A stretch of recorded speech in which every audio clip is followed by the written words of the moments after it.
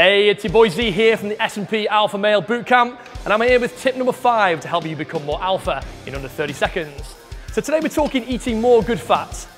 Thing is, if you're not eating any fish, nuts or seeds, then let me tell you, you're missing out on some good fats. They give your body a whole host of great health benefits, more than I've got time for in this video, but just trust me, get some fish, nuts and seeds into your diet, and you definitely won't go far wrong. I'll be back soon with more tips to help you become more alpha. Peace.